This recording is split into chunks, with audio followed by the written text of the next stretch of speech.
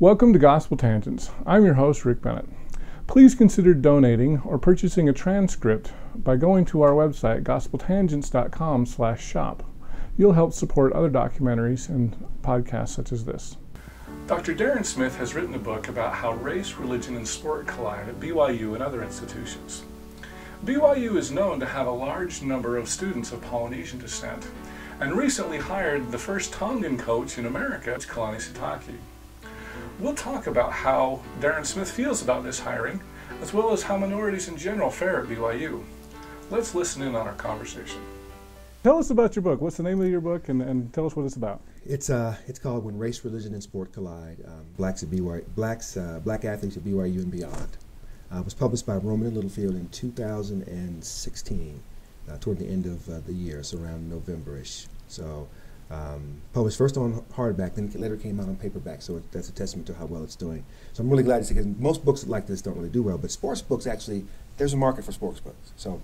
Um, uh, viewers, if you're listening to us, there is a market for, for sports books, particularly when you mix it with religion, which is a very interesting um, mix, which is what the book is really about. I'm trying to talk about, um, and, and, as you mentioned earlier, Rick, you know, I, am trying to look at sp- sports as a as an industrial complex, the thorny topic of race, and how religion sort of underscores it all. And, and, and I'm, I'm using BYU as, an, as a lens because I worked there for, for several years and I saw and met and just was witness to several incidences, high profile incidences where athletes were able, athletes were, they came in and they were there for a short time and they were out. And, and generally, um, when they left, it was too much fanfare and media attention, um, uh, public scrutiny, if you will.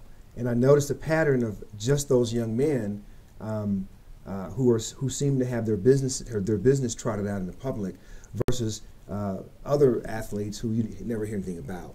So that really got me thinking about it. And then, of course, the Brandon Davies thing happened in 2011. You probably remember that. Mm-hmm. And that really tipped the scale for me. I was like, hmm, there's a story here, you know. And so then I was um, worked with a gentleman named Luke O'Brien who was working for a, a media outlet called Deadspin uh, in 2011. And so he and I collaborated on, on an article about um, this phenomena of high-profile athletes being kicked out of BYU, and that led to the book When Race, Religion, and Sport Collide. So I did a much more expansive look at that. So. Yeah, so I, I, I bought it last month. I read the whole thing. It's a great book. Um, so I, I, I, really encourage everyone to, to, to check it out. So one of the things, you know, we live here in Utah. We're just down the road, literally from BYU right now, mm-hmm. here in Orem. And um, so I wanted to talk a little bit because I think a lot of a lot of listeners um, probably think that uh, a lot of black athletes are held up as role models and that sort of thing. One of the things in your book, you said that uh, blacks were kicked out at a higher rate than than white students. So I kind of have a statistics background. So so give us some of the statistics about that that, that kind of support that idea. Yeah. Well. well the accounts, the accounts of high terminations were were um, looked at based on uh, public media accounts with uh, public out media outlets and their stories that they covered, police record reports, court records. So went back and tried for over a 20-year period to find all of that data to verify the findings. And so when I looked at my data that I found uh, for, for that time period based upon the athletes that were kicked out, uh, the two matched. I mean, you know, so it was just a simple tally. It wasn't, you know, it wasn't a whole lot of fancy mathematics. It was just a simple tally. You look at the look at what you have, look at what you, you have, and you okay. They overlay. They overlay. So you know, I mean, I mean, I mean, you know, tally can be as scientific as as, as anything. So um, I mean, these are not. This is not fake news or alternative truth. This is this is what this is the, this, the information that's contained in the book is based on public record. So I tried to find and verify all, all of the uh, uh, the data. And if I couldn't verify it in the literature, I would actually interview the athlete to get okay. their particular side of it. So so, it, it, was a mixed methods book, if you will, but much more of a simple tally. Yeah. So let's talk about what percent of, of students are. And I don't know if we should go with just black or, or all, all racial minorities, if you want to lump those together, um, compared to white students at BYU. As of the fall of 2013, BYU reported 4,139 students of color on campus. Underrepresented minority students as a whole just made up 14% of the student body. Most of them were Asian Pacific Islanders. Okay, that shouldn't surprise anybody. That's why we see. That's why that's why BYU made the decision to go with the coach that they have now. because they're catering to this pot, which they should. Kalani Yeah. you're talking about. This is they, they should. This is that's a, that was a great decision. So I would celebrate that decision, um, and I and I think I think they'll have a better result because of the coach that they have. So I hope this coach is not a puppet though. This coach has his, has has his own mind. He can think, but that's a good decision. So I, I celebrate that decision. So let me just mention one thing. So there's a, a current BYU coach. Um, I'll, I'll keep this a little bit vague, but I'm sure if you're a sports fan, you can figure out who I'm talking about. But he used to coach at the University of Utah. Um, I, I had a conversation with him, and uh, I remember specifically he pointed at a, at a black athlete and he said, you know, we really recruited that athlete well. We brought the parents out and let them see the campus. He said, when I was at the University of Utah, it was much easier to recruit black athletes at Utah than it is at BYU. Um, and I, I was I was surprised number one that he was so open about that, but number two he just talked about how much harder it is to recruit the black athlete at BYU. And tough. why why why do you think that is? Well, I think, I mean, as, as I say in the, in the book, Rick, I mean, it's the culture of Provo. It's just Provo. It's the bubble. It's the consciousness of Mormons in this community. It's the lack of knowing, lack of knowledge of black people, even still, even in 2017. Um, uh, it's the um, it's the isolation here, the sense of isolation. You have to really, to fit in here, you have to have a. If, if you're non-Mormon and you're black and you're Mormon, fitting in is another story in and of itself. But if you're not black and non-Mormon, it's it's it's very hard here. I mean, there's nothing to do here really. Um, there's no, you know, things for young people to do other than you think, well, this is a college campus.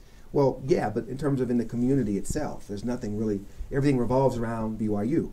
So either you participate at BYU or you don't. And most football players hang together. They hang together because they're they can, you know, they're they're isolated. The the, the football the, the athletic department, just the nature of the athletic department, isolates student athletes. They just isolate it. And you can really see that with, with BYU. Um, and again, other schools, you have the same complaint with students of color who go to predominantly white schools. This is a phenomenon that's across, you know, across PWIs, not just BYU, but across campuses, uh, you know, predominantly white campuses. It's hard, man, very hard. And students don't do well, you know, because they're, they're dealing with, you know, remember, these are young people who are coming from communities that none of us have any, well, I do, most white people have no clue about the difficulties of living in urban America, right? They have no idea. And you're traumatized, man. There's traumas there. So, um, but at any rate, so I'm speaking mostly about young men of color, uh, young African American men of color, um, and what they go through. So, yeah, crisis management should be available, um, which is why I find the BYU situation so incredulous, man. When they have the means, they have, they have, they know what they're supposed to do. At least rhetorically, they know. So you're saying they should be more pastoral in Absolutely, their, in their absolutely. And I, and I argued that in, in, the, in, my, in the last chapter. Here's an opportunity to really, really change, and they've done that by they, they've done it through osmosis.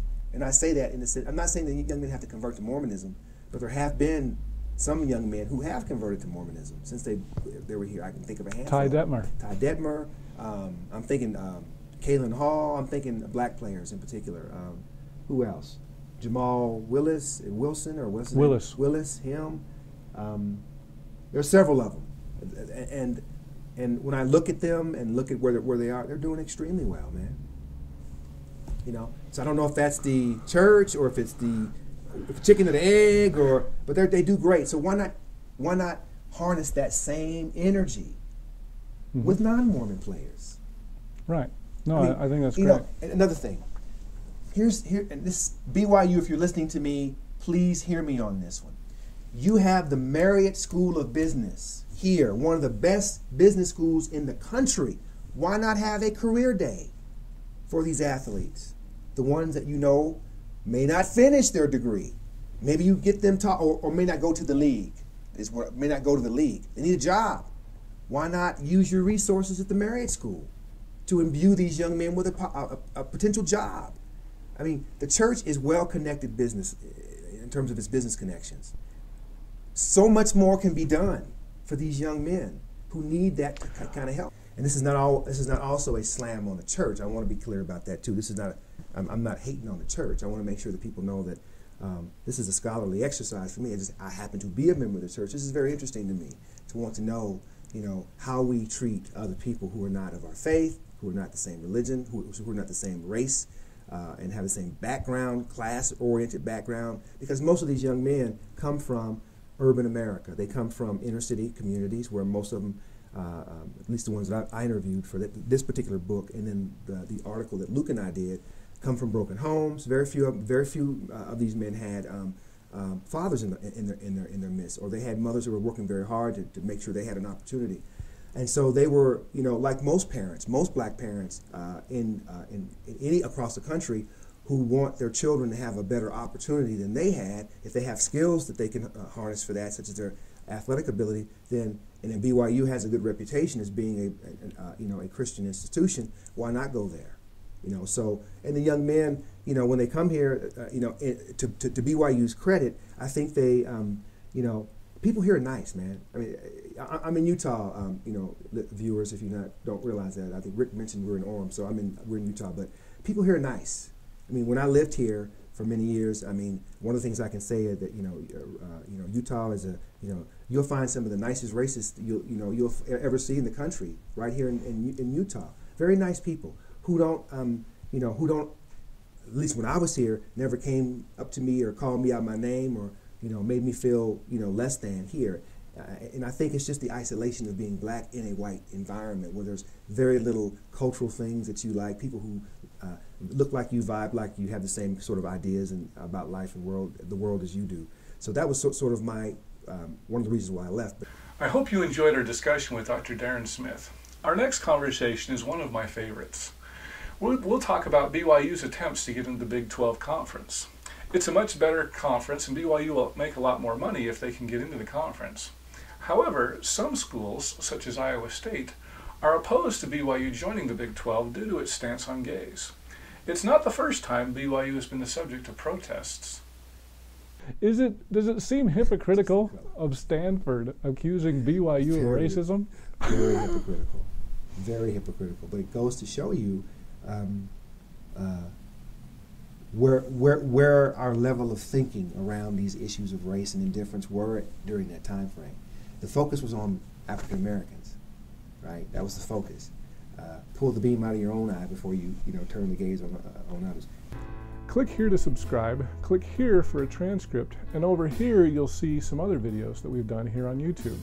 We hope you'll use this as a valuable resource to learn more about Mormon history.